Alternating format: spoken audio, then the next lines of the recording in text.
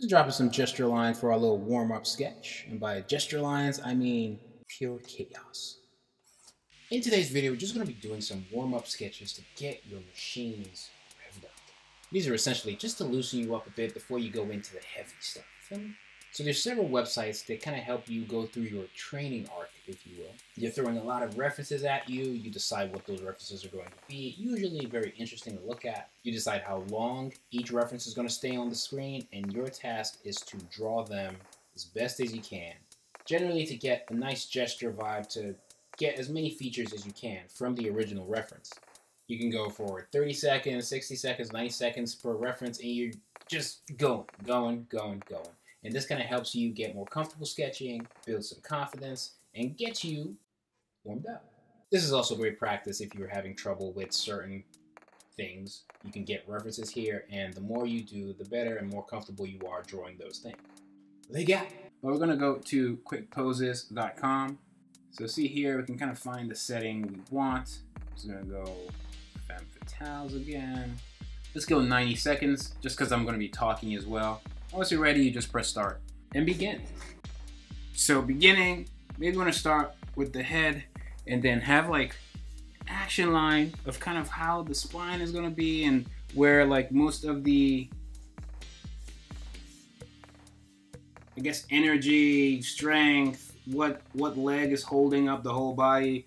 Then you can do maybe some lines to figure out the shoulders a little bit. So clearly going like this. And these are like really easy, quick strokes that you want to be finding.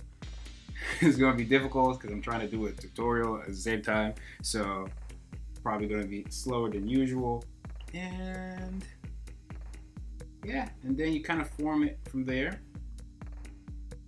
Again, you have all these, you have all these quick strokes looking for the correct one before you go into maybe a little more detail. Hand that. Closer to the hips. Like I always tell you guys in the other tutorials, usually the hand is going to be somewhere below the hips. And then you kind of go from there. And just add some add some hair. So even with this, you can also kind of draw in layers and then add the details afterwards should be done pretty soon and go to the next one. Now with the next one, let's add a little more flair. You want to watch out for some of the natural curves that would be essentially happening with the body. But with this one, we'll see less so because uh, we see a lot of um, clothing on this one. But again, you're drawing really quickly almost like focusing on just like the mannequin of it. You have all these lines kind of going any, everywhere. You're pretty loose with it. You're not going too crazy. Just kind of getting used to moving your hand almost and getting comfortable, building confidence. Again, you can draw on layers and maybe we should focus on just getting the pose right first. So do it again. Let's see if we can get, if I can get more detailed than usual with this one. Again, go with the spine, see how it's doing at line of action. See where the most pressure is placed.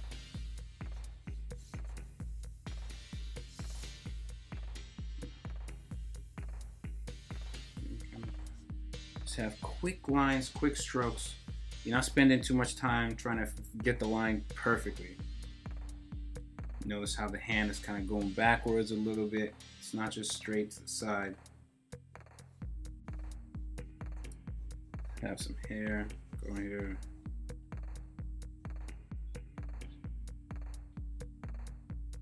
Again, you have that. And with with uh, with the female anatomy is always more fun to draw this kind of action line thing because because of the hips and stuff like that. You can get like some really fun I guess, curves. Figure out the shoulders, how sometimes one bumps up higher than the other because they're both, both hands are doing different things.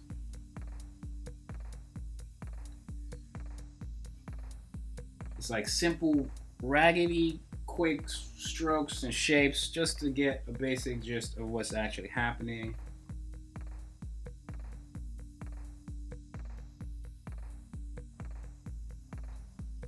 See how the shoulder is right, you know, behind the head. We do the curved lines right here.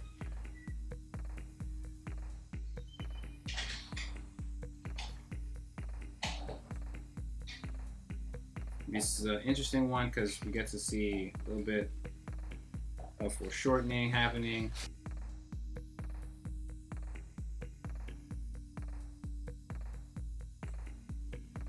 Again, this is like good practice to add to whatever you do normally. Just to practice, build confidence, especially if you're like new.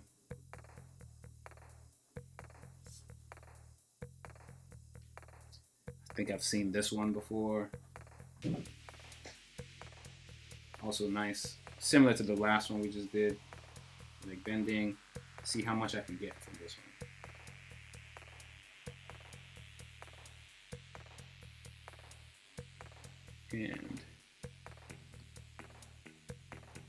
hard to see because a lot of it is dark. But yeah, pistol.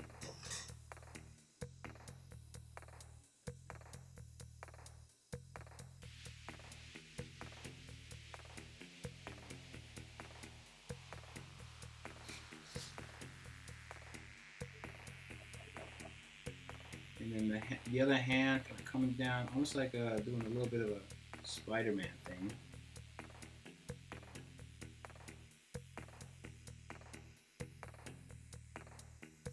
Again, nice foreshortening because we get get to see more like action femme fatale type characters and how that will actually play out. See the muzzle, blah blah. Heck. A little bit of a hat thing going on. The other pistol right here. We can do the action line, which is doing something like this. Right. Show myself. Let go back. It really teaches you a little bit about anatomy, where you find curves, you get to see different body types, and all sorts of things. So this is definitely pretty good practice.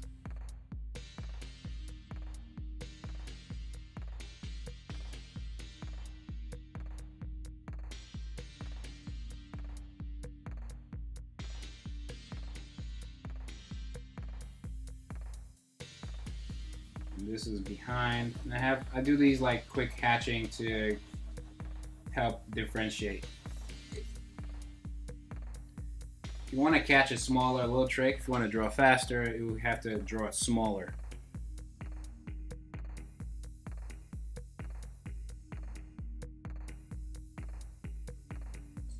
Sometimes you can draw the weapon first so you know exactly where their hands should be, like their fists and whatnot. Again, have that action line, and then you go straight down because of the leg. You get to see practice with a lot more muscle and stuff like that. If you give yourself more time, you can go into more detail if you want to get it exact. Um, leg.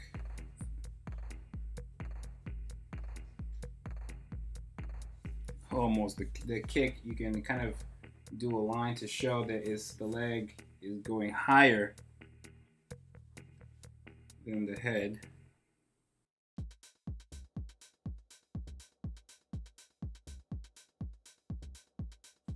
through the shoulders. You can see how it's going from, like, they're not the same height. It's almost going in this direction.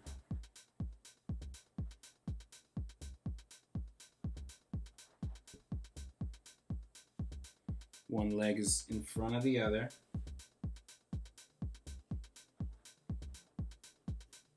This caveman clothing.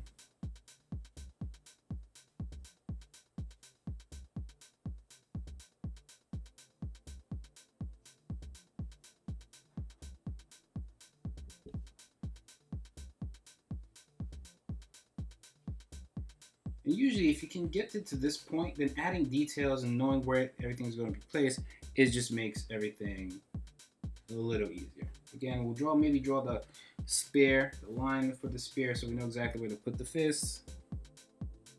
And then makes putting the forearm easier. Know where to place that, makes that easier.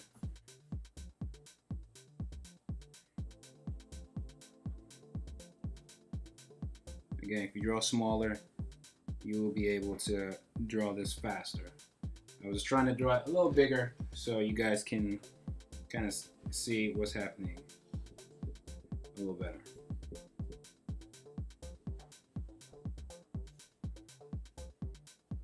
Here's a little curve like so.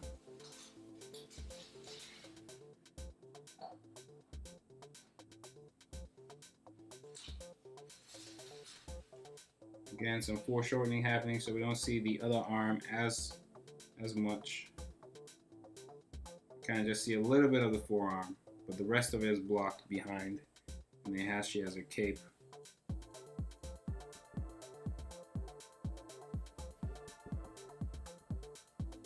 This is one of those things where we could have experimented and maybe drawn the cape doing something completely different if we want. Maybe the hair doing something more interesting if we want.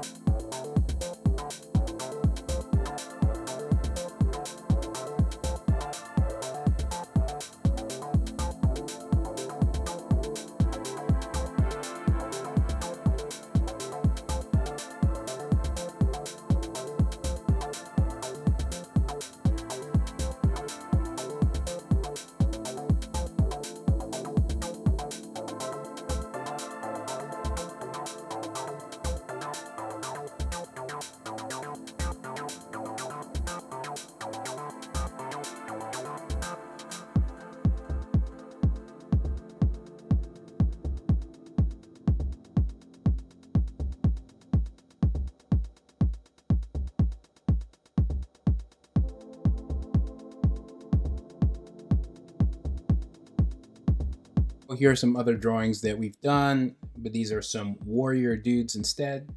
I advise you experiment with all the options they offer. That way you get more acquainted with drawing different kinds of things and different kinds of people, different kinds of poses, warriors, femme fatales, the list goes on.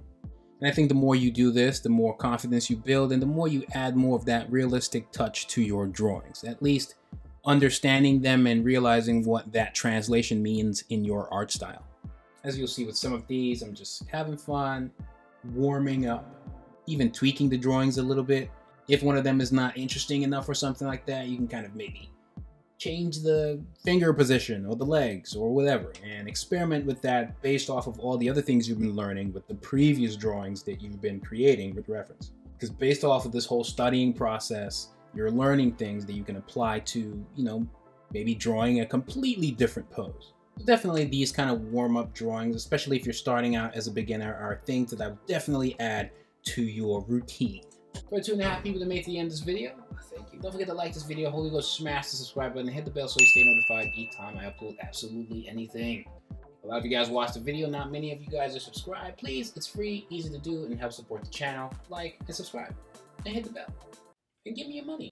I'm just kidding.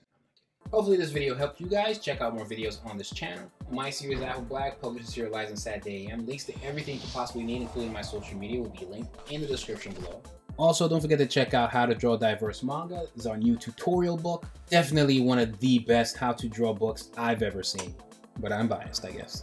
Links to pre-order will be in the description and more. Again, check out more videos, Whyt Manga, and I'm Audi 9000.